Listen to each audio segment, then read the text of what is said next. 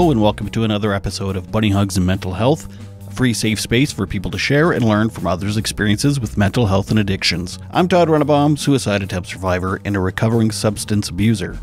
It's summertime and life is crazy. There's a lot going on in my life right now, including moving to a new city, uh, and well, lots of other stuff. So, because of that, I'm going to take a little bit of time off, but don't worry, there's still great content, including this episode. Over the next coming weeks, I will be featuring some of my friends' podcasts that I think you should check out, and also some past episodes that maybe you haven't listened to yet, or I, they didn't get the love they deserved at the time. You know, not everyone's gone through and listened to every episode, so uh, they may not be new to me but they could be new to you. So please sit back and enjoy past episodes and other great episodes from other great podcasters. I will be returning with all new episodes August 31st, and be prepared. There's going to be some amazing guests with amazing stories. Until then, keep listening and enjoy.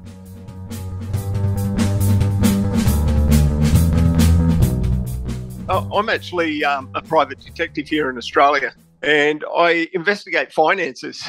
And I was working for a gentleman that was um, he, he, had cancer.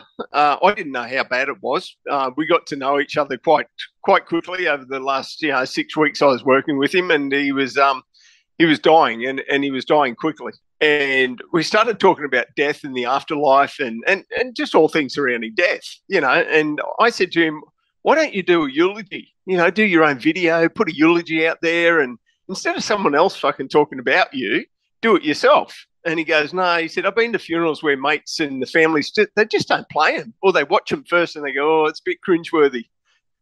Now, honestly, as a joke, and it was only a joke, I said to the guy, I said, look, I could crash your funeral for you. and lo and behold, he took me up on the offer, and it's exactly what I did. I crashed his funeral for him. It's brilliant. I love it. and then that turned into word of mouth, other people wanting you to do stuff for them. Oh, insane, insane! Yeah, word of mouth just went went nuts, and then it was like um, other doors started opening. So I ended up um, getting a call from a palliative care nurse that a gentleman wanted to see me. Uh, I went and saw this guy, and he had some items at his home that he needed removed before his sons find it. And um, what I didn't realize is that this guy had actually had a fall at home. And when he was taken up by ambulance to the hospital, they said, You'll never return home again. So everything that was there was like his TV was on, the lights were on. He, he just had a fall and gone. I mean, his half cup of tea was still there. So he was never going to return home. And he panicked and he was so upset. And when he got word of what I did through this palliative care nurse, and, and I met the gentleman, he said, Look, he said, I've, I've got a room at home that I need cleaned out. And I, I really do, I'm really embarrassed about it. And, and, and it was quite emotional for him. And I said, look to him, uh, no problem. I said, you tell me what you want removed, I'll go and do it. You know, and he says, oh, in this room, there's a key under the kitchen sink. You go into the room, it's a bit of a sex dungeon. and I, uh, yeah, yeah, and it was. He was 88 years of age, this guy. Lord. And seriously, eh, I'm talking a sex dungeon that was done in such a beautiful way. It didn't look like a dungeon. It was dark and seedy. It was done really, really professionally, really nice. Uh, and I gathered all the items and I brought them back to the farm and I incinerated them. I showed him all the video clips that I what I'd done for him, and he was elated. He was so happy and so. I, I guess he could go without the fear of his sons finding out what he was into, and that opened other doors. So yeah, it just kept rolling. I guess in a way, this is yeah mental health related because you know a little peace of mind before you go. It's like you're already dying. You got enough shit going on in your mind that you're dying, and then you know that peace of mind that you're not gonna exactly. I mean, how many? Uh, uh, yeah, well, when you think about the mental health side of it, I mean, we all have secrets. Every person on this planet's got a secret, a skeleton in the closet, so to speak. And we'd, we'd actually we'd be petrified if someone found out. You know, or, or not someone, but the wrong someone. Right. Right. And there's a lot of bloody vultures in the families. Right. And there's even vultures that'll use that stuff against you. So, you know, in a way, he just needed to have a clearance, and, and so have a lot of people since, just to get rid of certain items. Even you know, elderly ladies have said, look, you know, I'm a bit embarrassed. I've got a couple of sex toys. Can you go and remove them? Yeah, not a problem. It's no big deal to me. I mean, it's not my toys. It's not my family. It's not my life. I'm just doing a job, and that's what I do. Huh? Do you think he was he was having appropriate sex? Like he wasn't doing anything illegal or anything. He was just he just had this. Oh no, it was it was set up very very nicely. He, he was pretty yeah, he was pretty cool because I mean, look, I do investigate my clients each time I get a client. I have a look into their background. I you know, and there's a few things I can do, and I'll go into their internet searches and things like that. And there was nothing inappropriate this bloke did. He just lived a life that he wanted to live. He, he lost his wife. I don't know when he was five, 40 or 50 or something, and you know, been alone for 30 years and, and just got into this thing. And hey, why not? Yay. Yeah. As long as you're not hurting anyone. Yeah, exactly. Yeah, that's. But I, Hmm. at the same time, I understand why he would not want his kids to find it. But Oh, Yeah. of course. Yeah, absolutely. when I think of kids, I think of like twenty year olds. But he was eighty eight, so his kids were probably like sixty five. Well, yeah, I mean, they're in late 40s, early 50s, you know, whatever they were. But then he's got grandchildren and then he's got, you know, and it was just, it would have been very embarrassing, you know. Yeah, that's quite the service you provide, actually. um, Yeah, well, I call them home sweeps now because I've done quite a few. So I just, uh, yeah, so I do home sweeps. I do, uh, I go to viewings where I'll view the body and I'll place items in with the, in the casket with the body, you know. And most people want their mobile phone when they're dead. I don't know why. They think they're going to, uh, I don't know, wake up six foot under. I don't know, but they want their mobile phones. Yeah, I mean, uh, and then other people want me to pinprick them like a uh, pin cushion to make sure they are dead because they're petrified about being cremated or buried alive. oh, oh, well, okay. Yeah, I mean, I mean, whatever they want, they I'm get. scared of spiders, so I guess whatever. We're all scared of something. Of course, we are. Uh, have you have you had to crash any other weddings or or not weddings? Crash other funerals for people? Oh, I've crashed quite a few now. Yeah, so it's been, um, it's just rolled. I mean, the, the the story got out, and then you know, once it's in the media, people started to wanted to hire me just for fun. you know, and, and it became a bit of a gimmick. But um, Graham, my first client, he actually set the price of ten thousand dollars a funeral, and I'm glad he did because it stopped other people just using my service for a bit of a revenge or or whatever there was. So legitimate people came forward, which was great Hmm. you know, and at the same time, I actually manipulated the price too from two thousand to ten thousand dollars, depending on where I go and everything else and what's what's involved. You know, um, but again, they don't need the money where they're going, and I never get a complaint. yeah, I suppose. Have you ever had family come up to you and be like, "What the fuck?" Like, we found this receipt, and like, you, how much did my dad pay you to do this? Or- No, you know, I've never had a um a confrontation about the actual um the engagement of my services. I mean, obviously, there's people that are upset that I've just interrupted a funeral service, but at the same time, what I do is I get the crowd on my side as quick as I can, and I mean. By, by way of doing that, I'll, I'll go into a funeral and I'll go, Excuse me, my name's Bill Edgar. I'm the coffin confessor. This is your loved one laying in the coffin they've left something unsaid. You want to hear what it is? Great. If you don't, fuck off. uh, Okay, Yeah. because your loved one's got something to say, and then half the crowd will go, "Oh fuck, what did you? Oh, I wonder what it is," you know, and they want to know. yeah. So the other half saying, "Oh, sit down, and shut up," they're getting put down by the other half, going, "No, we want to hear what he says," you know, and it's it's These are his dying so wishes. The crowd's the most important. Exactly. yeah, yeah. Yeah. Uh, And it's them. It's not me talking. I'm just lending my voice. That's all I'm doing. Don't shoot the messenger. Or if you do, you've got to make sure you kill me. what's the one where there was an affair or something, and uh, you crashed the funeral? Ah, there's a, look. There's yeah. look, infidelity seems to be the main, uh, I guess, thing to get pe- people off their chest. You know, they they want to expose what they've done. They don't want to take it with them. They they want to tell their loved one, no, you know what, yeah, I did fuck around, and not only that, I know you did. Yeah, like, yeah. I, and sometimes I'm reading these letters and I'm thinking to myself, oh fuck, I've got to let this. Oh, you know, it's just going to explode. But yeah, look, infidelity is quite big. I mean, I did have to. Um, I let a lady. Uh, I, I met a lady who was a beautiful lady. Her husband was an absolute fuckwit.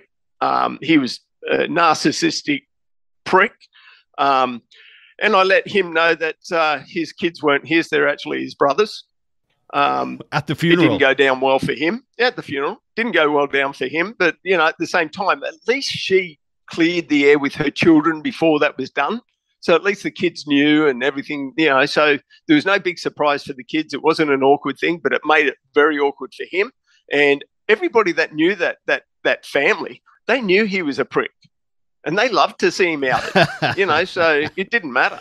Right. You know, so and I enjoyed doing that, those type of things. It was a bit like um, you know, one gentleman he, he didn't want to he he did not want a funeral, uh, a religious funeral. Right, that was his whole thing. I don't want a religious funeral. Mum and dad are going to have a religious funeral. I do not want one all his friends knew that he wasn't religious. All his friends knew that he didn't step foot in a church. He hated God, hated all this thing, and that was his beliefs. And and you know, lo and behold, what happened? His mum and dad organised a bloody religious funeral.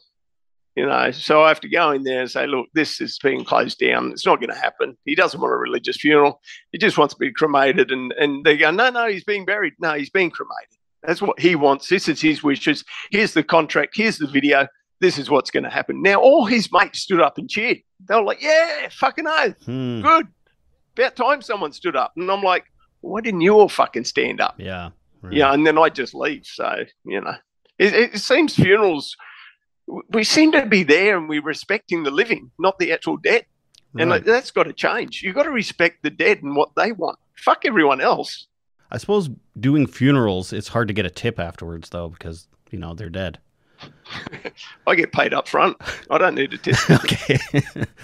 uh, there was one I, I, heard you do on um, Andrew Gold. On the Edge with Andrew Gold, by the way, is an amazing podcast. This is where I first uh, heard of, of, Bill. But do you prefer Bill? Is that okay? Or, yeah, Bill's fine. Okay. Yeah. yeah, and Andrew was great. I, have got to know Andrew quite well and bit of a pen pen pal with him. It's, it's good. Yeah, same. Yeah, I like Andrew. Yeah, yeah, he's a good good bloke, as they say. Um, the one story you were telling on there was the the guy was in bed dying basically, and he could see his best mate popping in trying to get. Yeah, get that was my first funeral. Yeah, my first crash. That, that was Graham. Yeah, oh. um, he was the one that was dying, and and he was in um, he was in a state. Um, if you've ever been with somebody that's on their deathbed, they're very weak. They don't. They can't speak much. They have limited time to talk. They fall asleep a lot. Um, they cry, they're upset, um, they don't want to die, um, and then they do want to die because the pain's horrific. Yeah. Um, this guy couldn't defend his wife from his best mate, who was leeching and coming into the house and, and basically all over his wife. His wife didn't want anything to do with him, but they couldn't get rid of him. And I said to him, Look, you know, if you can allow me to set a couple of cameras up to prove that this is going on, I'll definitely out him at the funeral, not a problem. So I did that, and I found out exactly what he was doing and what he was up to. And he was just a he, he wasn't a mate; he was just a thing. And um, it ended up. I said to Graham, I said, "Well, how about when your best mate's doing the eulogy? How about I stand up and interrupt it?" And he goes, "Yeah, yeah. What would you say?" I'd say, "Oh, sit down, shut up, or fuck off." Graham in the coffin's got something to say you know, and he goes, yeah, yeah, that sounds really good. Let's do that, you know. and so Graham started getting a bit of life about him, you know, and we started writing out and planning what was going on. And it was one of the most, I, I don't know, it, it was a bit magical to see a bit of life come back into Graham because he, he hadn't, he had something to do, if you know what I mean. Yeah. Like yeah. It, it really, yeah, and, and it excited him even though he wasn't going to be there, he said he was going to be there, you know, in his own way. And it was pretty cool. Yeah. So I, I enjoyed doing that one. So you were a private investigator and he hired you to, to check out his best mate. And then by doing, no, oh. no, I was, I was working prior to that for Graham. Oh, I see. Uh, okay. In a financial capacity. Yeah. Oh, okay. And we just got to talking and knowing and each other. And, uh, and I got to say, every client I've met um, even up until the other day, I meet these people and I get to know their secrets, their desires, their fantasies, everything about them in such a short time. And I'm so humbled but blessed to, to be able to hold those secrets for those people.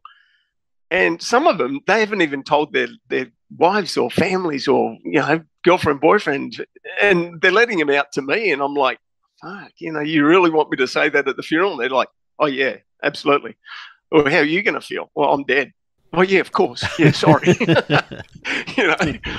Have you have you ever kind of grown attached to some of your clients, and then like you know they're they're expiring, so it's is that a bit of a mind fuck for you? That no, not really, because I I, I attach to the the thought that I'm preparing them for their journey and I'm doing a job for them and I'm happy to do that. And every client I've had has been like, it's good to know something's actually going to get done. That and that's the belief and that's what i entrust and, and, tell them you know is that whatever you say what you want done will be done okay? And, the, and a lot of people go why can't they get a family member or friend to do that? Because the fucking family member or friend won't do it you know it, it's not easy to stand up at a funeral and tell everyone to fuck off or you know, or, or, even if it's a loving message. And, and I mean, I've done a lot of funerals where they're good, bad, funny, and sad. So there's a whole range of, of funerals, and it's not all bad or revenge. I mean, some of them are just you know, I, even I get choked up at reading some of the letters. You know, you'll read them and you'll go,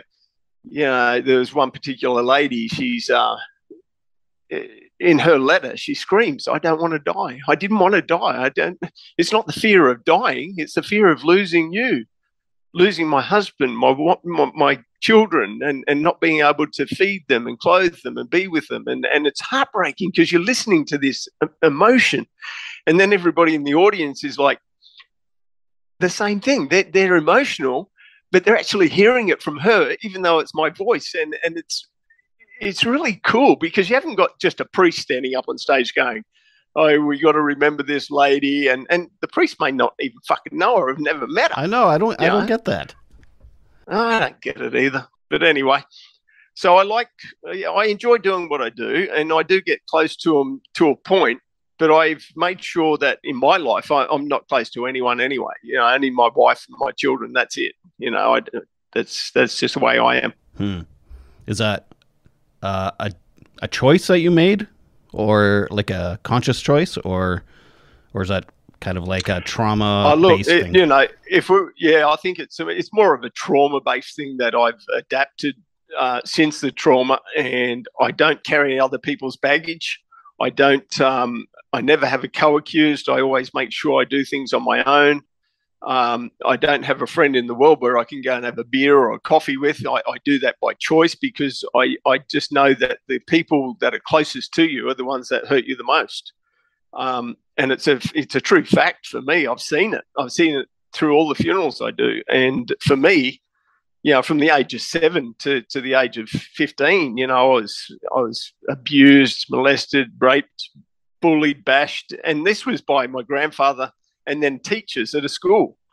And and and this is another thing that really blows my mind is that as you get older and you you start wondering and thinking and learning, um, you know, those four men that abused, bashed me, and, and did what they did to me as a child, they were all married. They were married men with children. Hmm. They had their own lives. They, not one gay man had ever hurt me. Not one. And yet I used to think that the gays were the ones that were were bad and I'd go poof to bashing and all that. They never did anything to me. It was married heterosexual bullshit that that attacked me. And I'm like, yeah, so that's something I have to live with for the rest of my life is knowing that I did hurt certain people for no other reason than society making me think that, you know, poofs and gays and all that, they're they're pedophiles. And they weren't. And you, you actually went out and beat up some homosexual people? Oh, I used to do it all the time as a, as a kid. Yeah, as, you know, 16, 17, 18 year old. Yeah, mm, for sure. Mm. For sure. I got, that's how I was getting my revenge. Right. You know, and I didn't know those perpetrators on me. I knew my grandfather was married with kids and that, but I didn't know the other three teachers were, you know, had families or anything. I, you know, as far as I know, we are at school and then half the kids were saying, oh, he's a poof or he's gay. And, and I'd just seek my revenge on other poofs and gays. And it wasn't, it was wrong so wrong. Um, maybe maybe describe your your childhood. My childhood, your younger years, mate. Mate, uh, I, I got to say, look, uh, from the age of um, it was my eighth birthday the next morning, and, and the night before my eighth birthday, my grandfather uh, um, sexually, physically, and mentally abused me in a way that was um, horrendous. But in the morning, I woke up to him giving me a brand new bike.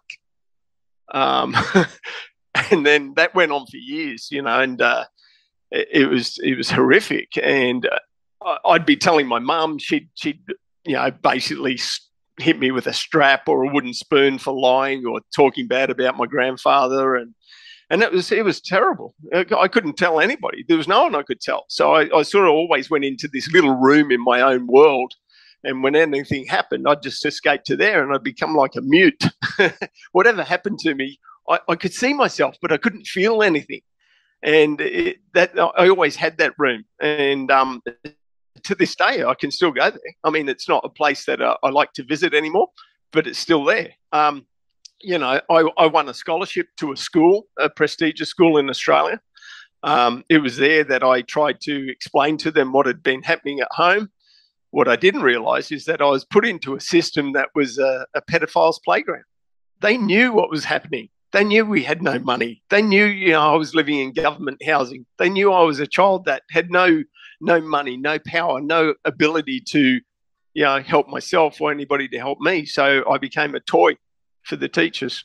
Damn. So they knew you were vul- mm. vulnerable. You, uh, man, I'm fucking. It's nauseating hearing this shit. Oh, it's gutting. Yeah, it's gutting because I mean, I look at my grandchildren today and I think to myself, I'd die if that. I I would kill. I would kill them in a heartbeat if they ever did that to my children. What happened to me? I mean, to use um, their power and and and I was always hungry as a kid, and, and I, I got to be honest with you, I, I was never an alcoholic, a drug addict, or anything like. That. I was hungry, I broke into more houses than I could uh, imagine, right? or you could imagine. But at the same time, I only went to the fridge. I stole food. People would be coming home going, fucking someone's been in the house. Oh, or would they steal the spaghetti bolognese? Who ate my sandwich? yeah. But that'd be me because that's what I do. I was so fucking hungry. And at school, one of the ways one of the perpetrators, one of the teachers he'd go through the lockers of the other boys and, and bags and he'd steal stuff from all the kids. He'd bring it into his office and he'd say to me, Now, if you tell anybody what I'm doing to you, I'm going to tell him that you're the thief of the school and you're the one stealing all this stuff. And, and it hurt me so much. And it, it, it was a manipulation that I couldn't get away from because kids knew I was poor. Kids knew I was on a scholarship. Kids knew I didn't have lunch money. What the fuck's lunch money? I never had that. And so when they started seeing me eat, and if the teacher was to say, look, he just stole your lunch from the bag, and oh, it, it was just horrific. You know, so they used all types of coercion, and yeah, it was terrible. And this is the teacher you went to to talk about your grandpa abusing you, and then he went and did this shit. Yeah, exactly. Jesus yeah. Christ. Yeah, yeah. He um, it, it, started off with, oh, I'm going to help you. This is how I'm going to help you. And then all of a sudden it was um, stripped down. Tell me what your grandfather does to you and show me what you do to him on me. You know, and I was like, fuck, you're kidding me. Like, you know, I'm a kid. I was 13, 14 years old, you know. Well, no wonder you have trust issues. Like, you're told as a well, you're told as a kid if someone's doing shit to you, tell an adult, tell a teacher, tell someone and that's exactly, exactly what you did. And then all it did was get you yeah. more and more and more. So yeah, so three, exactly three, right. yeah. there was three teachers that. Three teachers. One of the teachers wasn't a sexual abuser. He was. Um, he hated me from the start because I was on a scholarship. Uh. He um, he nicknamed me a charity case and that I wasn't worth teaching and that uh, because the other kids' parents pay for the privilege of coming to the school like this, he will not teach me. Um, so he ended up picking me up by the ears and hanging me on a hook at school like a port rack. And he ripped my ears till they bled. He kicked me, dragged me along the carpet. He did everything to embarrass, humiliate, and, and really abuse me in a way that I didn't see a difference between the sexual abuse and that abuse. But what I did find is that later on in life, um, and not long after I, I left, I ran away from both home and school and lived on the streets. And I think that punishment, that abuse, no one could hurt me again. I couldn't. I couldn't even cry. Hmm. Everything had been ripped out of me. I, I, had no emotion. I had no emotion for people. I didn't give a fuck about people.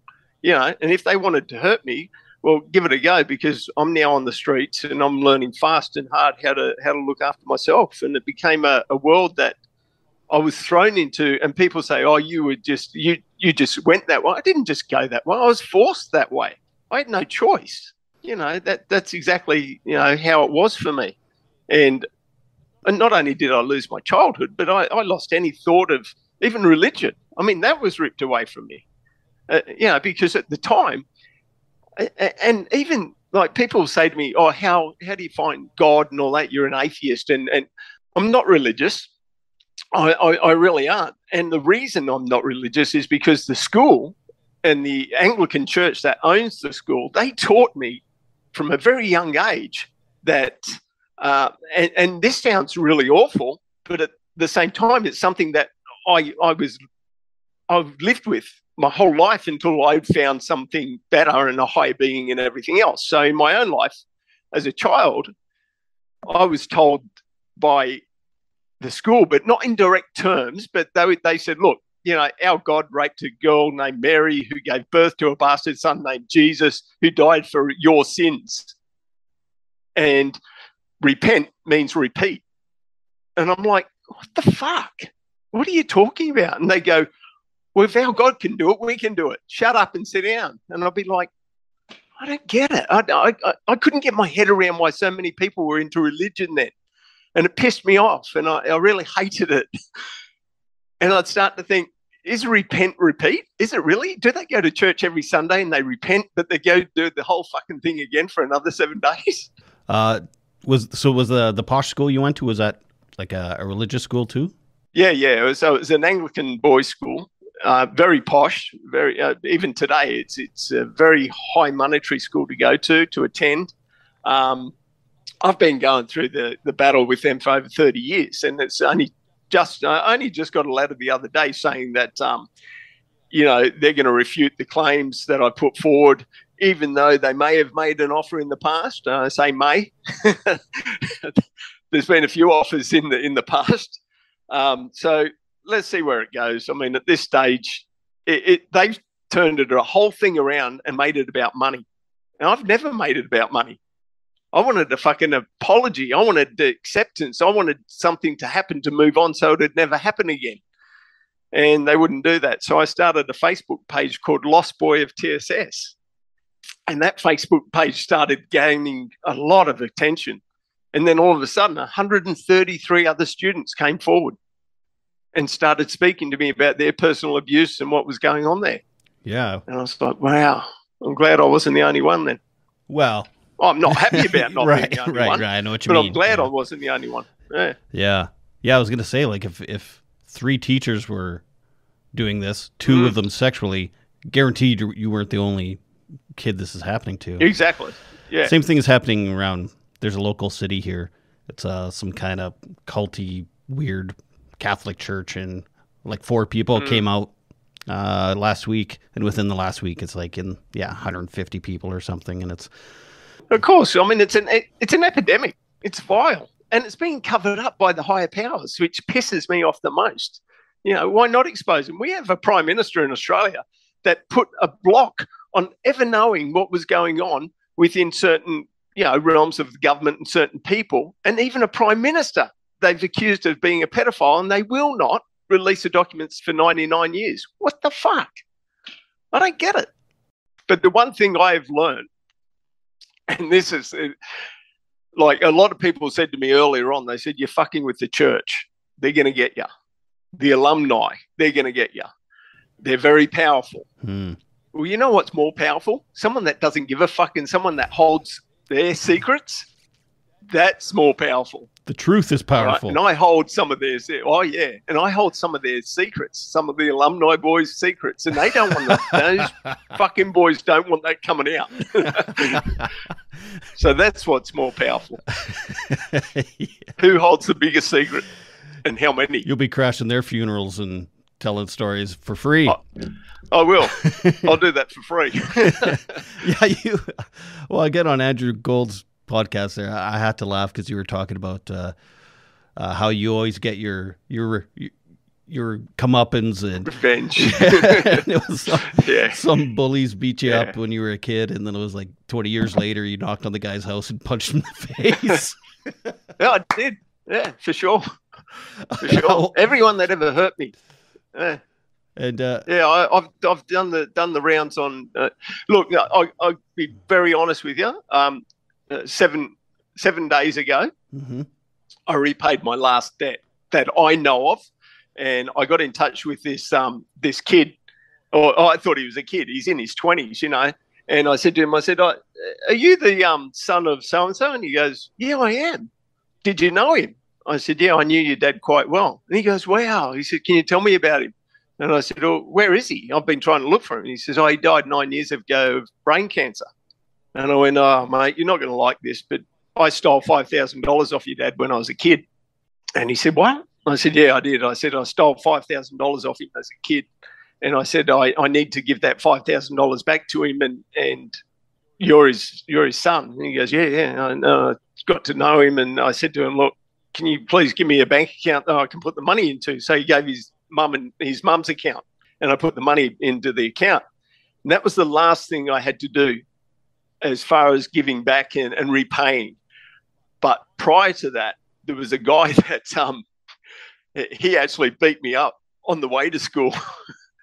and he used to get his joys out of doing that. And as he, as he became a teenager, he became pretty uh, synonymous with being a bully and a prick and everything else. And, and it was, I think I was 30. And uh, yeah, I knocked on his door and I said, uh, I said, Scotty.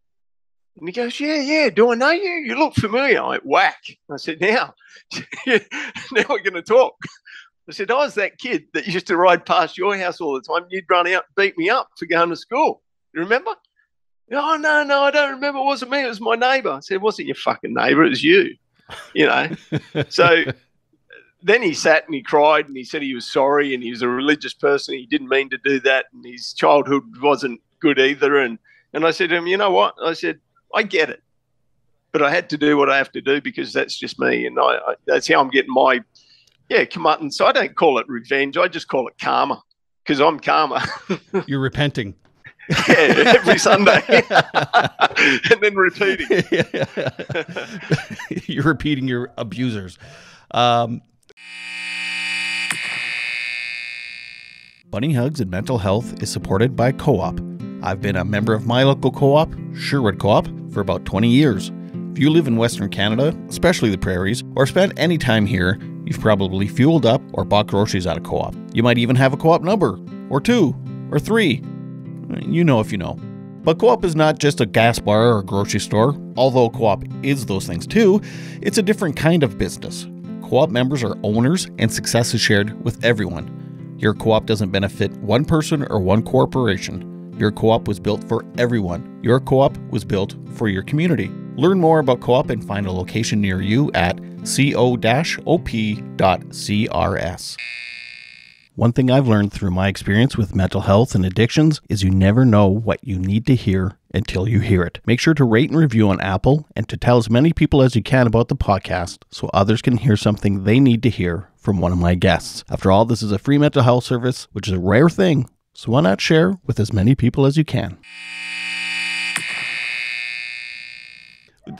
Tell me a bit about your dad. This sounds interesting.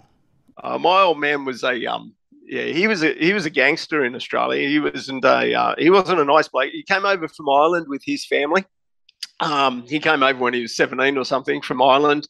Uh, moved to Melbourne, Broadmeadows. Met my mum. Uh, she was English. The Irish and the English hated each other then. They hated each other now. Um, they got together. The families didn't like each other he fell into boxing. He was very good at boxing. Um, he fought some of the hardest people in, in Australia boxing, and uh, he did very well for himself. Uh, but then he fell into the the bad side. You know, the the and I don't mean drugs, drink, or anything like that. It was all about money for him.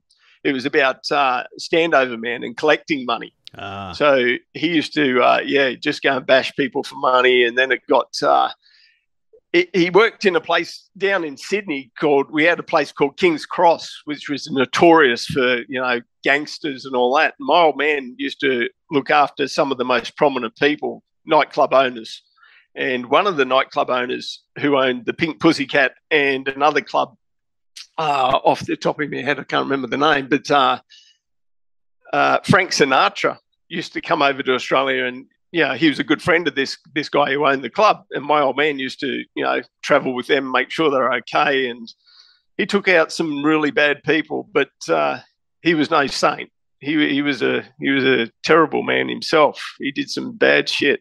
So in and out of jail his his whole life as well. So, but um, notorious as yeah. So was was he in your life very much then as a kid?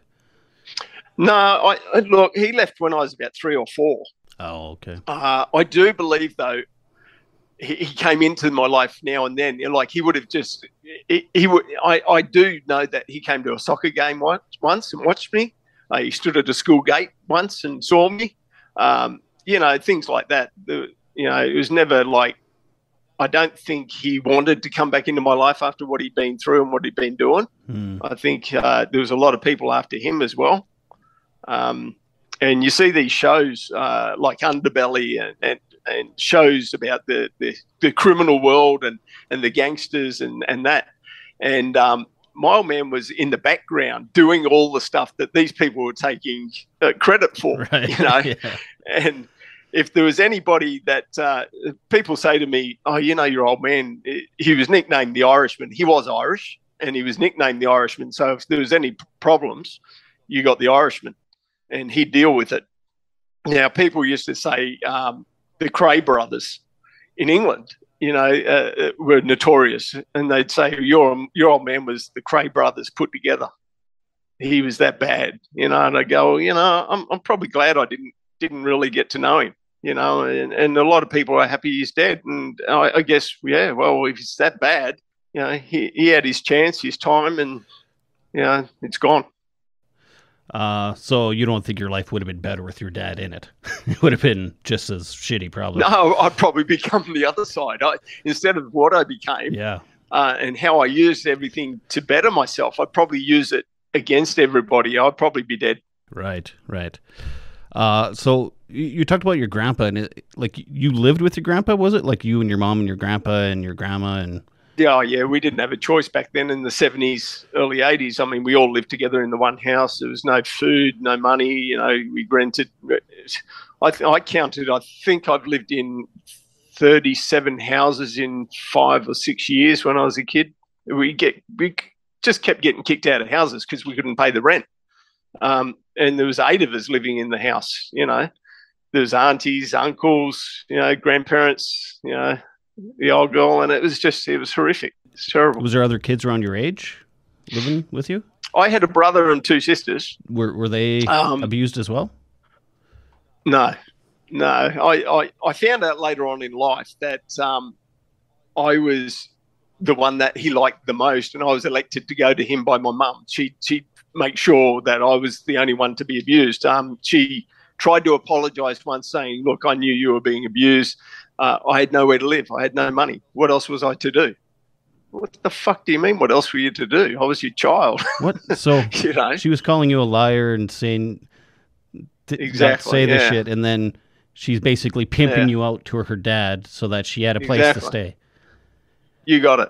Yeah. Fucking. And then my auntie came forward telling me the same story. She she knew, and she said, "Oh, I was abused by him as well." And and I'd say, "Well, if you were abused by him, why did you leave your own children with him to babysit? And she'd go, Oh, I forgot. No, no, it was just sometimes I, your nana was always with him. No, she fucking wasn't. Because I knew I started to remember things and recall that my auntie and her dad, which is my mum's dad, they used to get on and he used to babysit the kids. And I'd be horrified for them, for my cousins. Mm-hmm. But they were all girls. Mm. My grandfather liked to abuse boys, not not girls.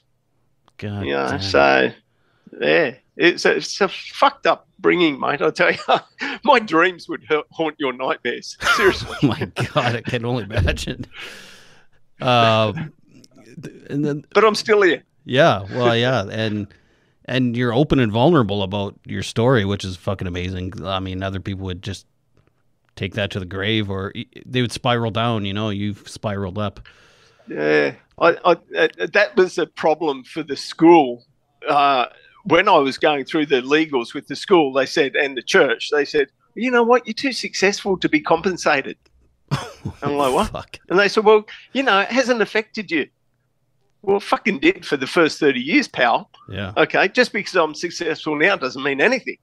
You know, I, I went through all that shit. I went to jail. I, I lived on the streets. I lost a family. I lost religion. I lost all that because of you fucks. And now you're saying because I'm too successful, I shouldn't be compensated? Fuck your compensation. Give me an open apology. Let me know that you, you did what you did and you're sorry for it. And, you know, let's move on. No, no, no. An apology is worth more than money. So, you know, yeah, that's that's the way it is. Fuck. Do you mind telling the story about your grandpa on the when you're out fishing? Oh, that was shocking. yeah. My grandfather took me shopping, uh, fishing. Um, it was a really hot day, um, and he had a half cabin boat and a fiberglass, you know, and we go fishing, and he'd, he'd tell me to strip off, you know, we, he'd be naked as well. We'd, we'd be driving this boat, and I, I was quite young, and uh, we go fishing, and uh, I never knew how to fish. Uh, he taught me how to fish, or, or, pretended to teach me how to fish, and, and I actually caught a fish, and I brought it up on the boat, you know, and put it in a bucket, and and I really felt for this fish because it was so hot, and the fish was in the sun, in the you know, and I tried to move it in the shade, and grandfather drag it back onto the into the sun, and uh, and I could see the fish floating upside down, and then trying to get back upright, and it was it was fighting for its life and I, I, was I was emotional about it. And uh, my grandfather was trying to molest me at the same time, and I'd cry or I'd, I'd, wet myself. And my grandfather hated it when I urinated, so I learned to urinate. Mm. I'd hold it until a certain time, and when I urinated, he hated that. So I knew I wasn't going to be abused if I urinated, mm. and it was something I did. And um, he actually grabbed the fish and held it in front of me and stuck a knife in it and said, "This is what will happen to you if you ever tell anybody what you know I've done to you." You know, and he slit the fish down, pulled its guts out, and uh, basically threw the fish. And I, I, was traumatized by that. And then he um, and I was crying and blubbering, and I was upset. And he said, "Go up the bow of the boat and sit down." And I went up the bow of the boat, and you couldn't sit down. The, the fiberglass was nearly melting. It was that hot. And he said, "Sit down." And I, would put my hands down and sit on my hands, and he'd go, get your hands up in the air and hold them up in the air and sit down. And I did, and my my bum got stuck to the bloody fiberglass, Fuck. and it yeah, the blistering and bleeding, and it, it was horrific, horrific. And uh, you know, he he'd, um, he took me home, and I went for a shower, and I was uh, you know blistering and, and, blood and that, and I tried to tell mum, and he'd say, "Oh, what an idiot he was going out the front of the boat and sitting on that stupid boy," you know, and and mum would go, "Yo, you're an idiot," and slap me behind the head and get in the shower and clean yourself off. And, and I couldn't even wear underwear or pants because you know, I, all the scabs used to stick to me. And uh, yeah, and that that that tormented me so bad that to this day I can't fish. Hmm. Not that I don't eat fish or any animal, I just can't fish. I can't kill an animal. I just can't do it. You know, I know they get killed every day and everything, and, and I eat them, but I just can't do it myself personally you know, and uh, I, I, like to look at people who are out fishing and having a great time. And, and I know my grandkids would like to, I even tried to take my kids once and I couldn't do it. I just could not do it. I said, let's go skiing instead. Oh, yeah, yeah, let's go skiing. Jesus you know? Christ. So I just can't fish, you know. God, I'm so sorry, man. That's fucking horrible. It's, oh, it's terrible. Yeah, it's, it's horrific. I mean, it's just, it's a memory that, and these are memories that stay with you for life.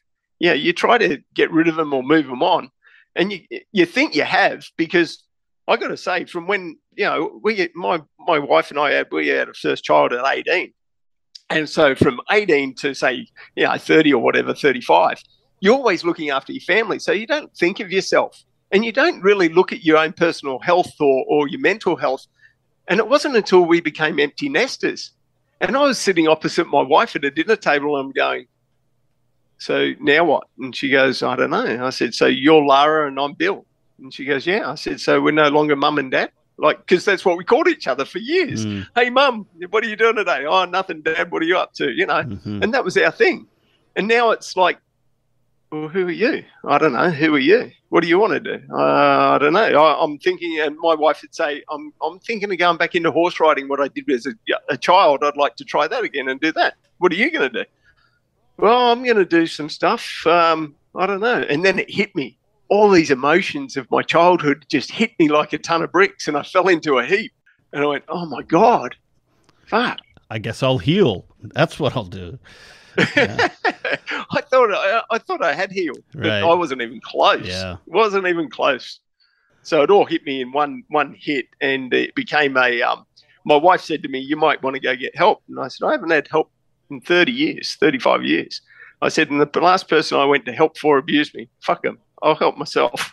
so you've never had professional. that's what I've done. You haven't gone to a counselor, or a therapist, or a doctor, or nothing. Only forced. Uh, the I had to go to two therapists, one on the, my side for the lawyers, and one on their side for the lawyers, and both therapists uh, have said that I'm. Uh, yeah, you got the usual PTSD and, uh, and, all the all the bullshit. I mean, there's so many alphabets after my name through the psychiatrist. they just said, "Fuck, mate." You know, the psychiatrist on the on the school side, he said he'd never interviewed a more scary person that wasn't and didn't possess empathy or sympathy in his life, which I possess both. Mm. He said, but he said I've interviewed people that are in jail for, for life, never to be released.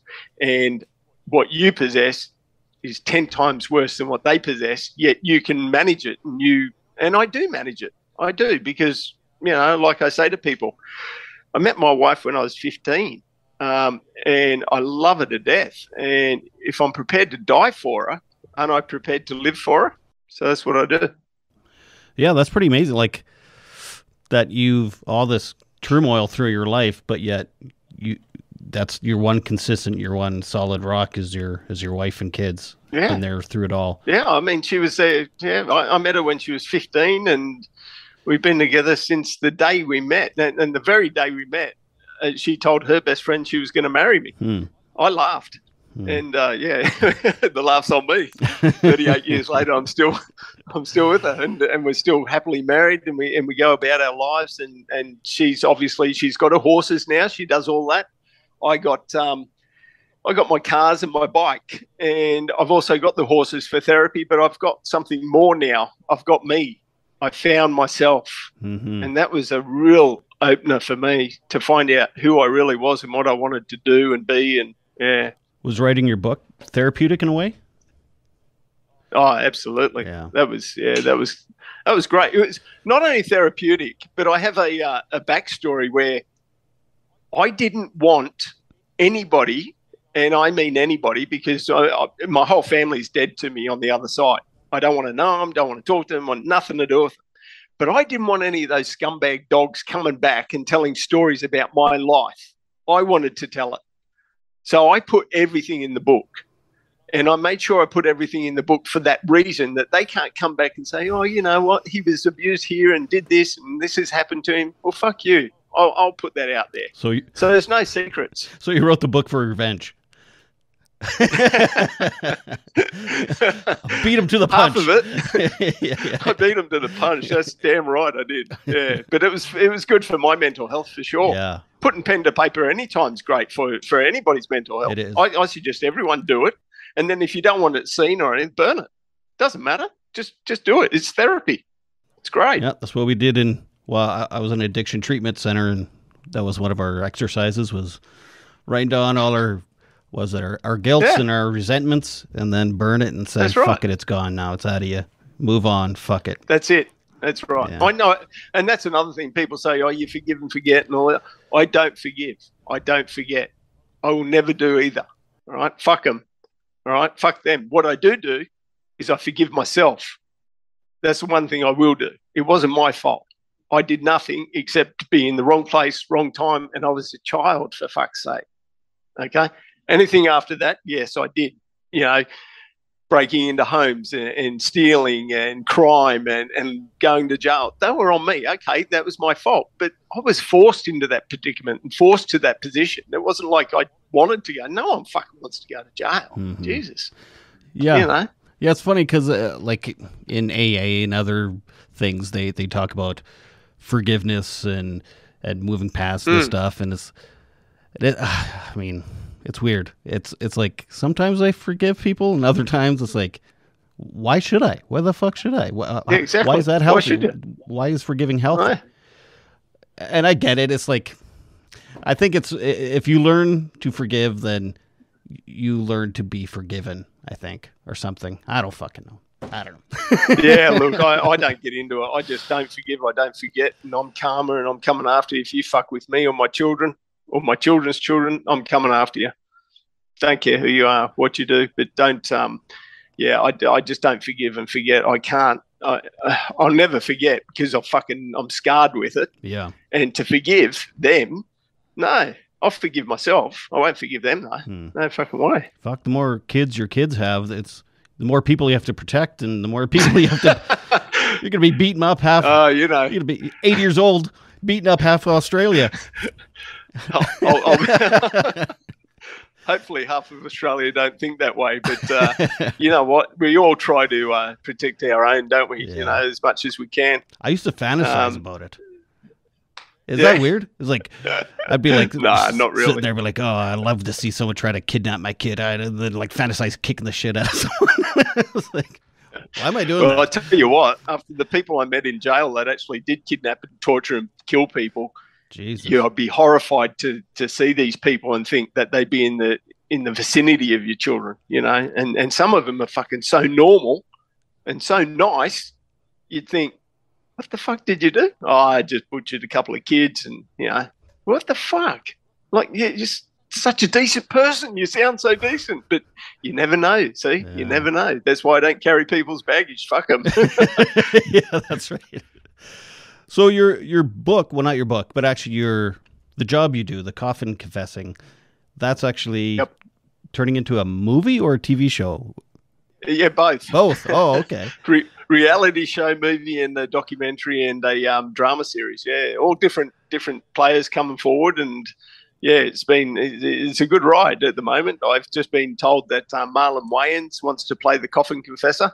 You know, yeah. Uh, uh, look, I'm looking forward to whoever does what. You know, it, it's a ride. I'm enjoying it. Um, my wife and I came from nothing. We lived in a tent with kids. We had nothing. What we have today is everything that we made ourselves, which is properties, cars, horses, houses, whatever we got, we we made it ourselves. So whatever comes now is just a bonus, and it's a lot of fun, and I'm enjoying it. You know, um, Marlon uh, is an exciting character to to talk with. Um, he's very funny. Um, he was in White Chicks with his brother. He's he's just a funny man. I think he'll make it a really funny project. I've been watching him since um, I was a um, kid on uh, In Living Color, his sketch comedy yeah, and stuff. Yeah. yeah, shit. Yeah, that's amazing. Yeah, he's cool. And uh, yeah, so there's a drama series as well, which uh, they're talking about, and documentary and the book. It, it just, yeah, it's a wild ride. I'm looking forward to seeing where it all goes. Well, that's I'm enjoying it. That's, I mean, that's, it's incredible. Like I said, your story's just fucking fascinating when I first walked into prison, right, I was just turned 17 years of age, right? And I was put in prison because I had nowhere to live, no food, no house, no clothing, right? Mm. I did commit a crime, mm-hmm. uh, demanding property with menaces, but it wasn't a convictable crime, but I ended up going to jail as a kid. When I walked into jail, there was a sign on this yard and it said, ode to a, ode to a white man. Hmm. And because there was a lot of Aboriginals in this jail, hmm. and it said, "Ode to a white man." It said, um, "When I'm," and this is what it said. It said, "White man, when you cold, you blue. When you hot, you red. When you scared, you yellow. Me, white man, when I hot, I black. When I cold, I black. When I scared, I still black. And you have the nerve to call me coloured." That's good. And that hit me big time. That was the biggest sign in my face that is, uh, we're the most racist fuckers around. We really are. oh, I know. that really hit me. Oh, man. And it hit me in a way that I thought, never in my life will I ever do that and, and be like that. You know, I never was, but it was just something that stuck with me. And, and, and it's funny what sticks with you through life. Everybody's out. You know what? People would rather see you fail than succeed that's what they do. That's why I just succeed in my own little world. Right, right. Well, you know, since I got sober too, my bubble shrunk. It's like I, I, I don't give a fuck about anyone else either. Like just good on you. I got my kids, my like my. Uh, this I think the fourth time I've said this in a podcast episode in a row. but once I got sober, it was like my friends and my family went from quantity to quality and it's just Yeah. it shrunk down. Yeah, for sure. Yeah, I don't know. No, good on you. Yeah, well, thanks. and that and that's how it should be for you you know because and I, I know and i know this for a fact life is too short right we can buy a clock we can buy a watch we can buy a fucking time on our fucking phone but the one thing we can't buy is time Hmm. we can't buy time hmm no matter how rich you are how powerful you are you can't buy it and some of the richest men have tried to buy it and they can't. They still die. We're all going to die. Enjoy your life live it and fucking do what you want to do. Not what anybody else wants you to do. Do what you want to do. Amen. you know it's easier said than done but you got to do it. Why is that? Why is it so? hard? because we always put roadblocks in our way. We say oh we can't do that. We got the kids or we, we can't do this because you know we could die. Oh we can't do this. Mm. it's scary. Or you know what's on the other side of fear? Fucking fun. Go and do it give it a go stop worrying about what may happen you know yeah. Huh. just do it just give it a go Well, the one thing I'm scared of, and you, I was already scared, but you made me more scared of it, is uh, becoming an empty nester. My my oldest son just graduated high school, and in two years, my other kid is graduating. It's like, well, you know, I, I've been to treatment, so I've I've already kind of healed. I'm healing. Yeah, you sort of healed, yeah. But what you got to do, and, and this is something I say to people, is you've got to prepare for the empty nesting. Don't let it just hit you like it did me. You've got to prepare. And people are like, what do you mean? Well, prepare. Have you got a hobby? Get a fucking hobby a year out before you become an empty nester. And if you don't like that hobby, get another one. Do something. You need something to keep you going, active, whether it's walking, hiking, riding, fucking mountain bike climbing, skydiving, whatever the fuck it is, get a hobby because you'll need that hobby. Right. And it's not for you, for you, for your wife or your family, it's for you only. And you need that hobby. And whether it's talking to other people or helping people, whatever it is, you need to do it because it's all about you. Uh, I like talking to weird Aussies. That's my hobby. Well, I don't know any, but there's some, I guess there's some down here somewhere. I can look some up for you. I spoke to two in the last few weeks here between uh, you and uh, Yeah. hey cunts, night night Hi, cunts. Nah, Yeah, well, he's a weird Aussie, but I mean, look, you know, like I say, each to their own. absolutely. their He's own, living mate. his best life, and I can't be more proud of him. Hey, that's it. That's what you got to do. You know, just live your best life. And, and and what a privilege for us to be able to tell our stories. How cool's that? People like you come along and go, I want to hear your story. You sure? It's only a story. And they're like, fucking oath. They want to tell people, okay, cool. I'm rapt. Well, I've told my story quite a bit. I've been on other people's podcasts and stuff, and I'm a mental health advocate, and like I could talk for an hour about my own shit, but I got tired of, Of it. I was like, "Fuck, I'm t- I want to hear other people's stories. I'm tired of telling my own." So maybe you'll get your own podcast eventually. You'll be like, "Fuck, I'm tired of telling my story. I want to, I want to hear others." No, you know, no. I, I think what I'll do is, uh, I'll I'll just let myself tell the story without telling it. If you know what I mean. I'll let other people tell it for me. right, right. So, so what's I like that. what's the name of your book, and where can people find it? the? Coffin Confessor. And it's just everywhere. It's everywhere. Yeah, you can buy it anywhere. Yeah, Oh, How long ago? The Coffin Confessor by Bill Edgar. How long ago did you write that? Is there two different co- um covers? Yeah, it's two different covers. Okay, Yeah, okay. so the, the it's getting second release tomorrow, the 16th here in Australia. And the reason being is when a book comes out in Australia, it comes out in a in a quite a large format called a format A, and if it does well, it goes to paperback, which means it goes global. And mine did well, so it went to paperback. But what they decided is let's change the cover so that way we illustrate more about the backstory and where you came from, Bill, and, and not just the coffin confessor. So, because the book interweaves between my life growing up and the coffin confessor. So, they're now emphasizing more on the backstory, uh, which is really cool. So, it's, it's, yeah, I get two bites of the cherry. How cool is that? Thank you so so much, Bill. Uh, I very very much appreciate talking to you and you speaking with me, and I appreciate you listening to Bill speaking to me, and me speaking to Bill. anyway, um, yes. So that that was that episode. Don't forget to make your beds and take your meds. Bye.